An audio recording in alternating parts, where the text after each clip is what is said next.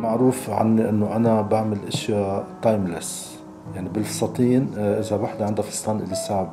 من 30 سنة أكيد فيها هي تلبسه هلأ فيها تلبسه بنتها فيها تلبسه بنت بنتها.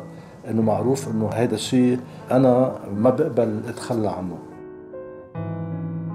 بقول لك إنه بالبيوت كمان ذات الشيء بالبيت دائما هو صاحب البيت لازم يكون عنده اللمسه تبعه.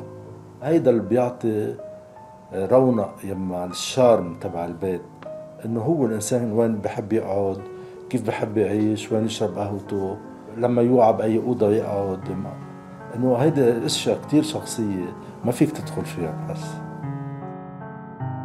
نحن عم نعمل تطوير كتير كبير على صعيد إلي صعب بكل ال Far East. وثائب إنه أول projet عملناه بفيتنام بس بتصور إنه عندنا projets تانية كتير حتطلع.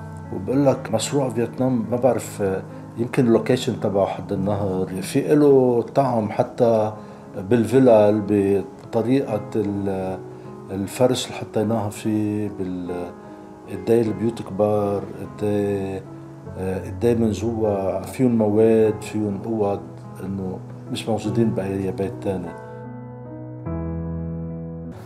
ال haute couture هي أساس ال brand هي قلب ال brand النابض تبع إيلي صعب. يعني من ال haute couture هو بلش كل شيء.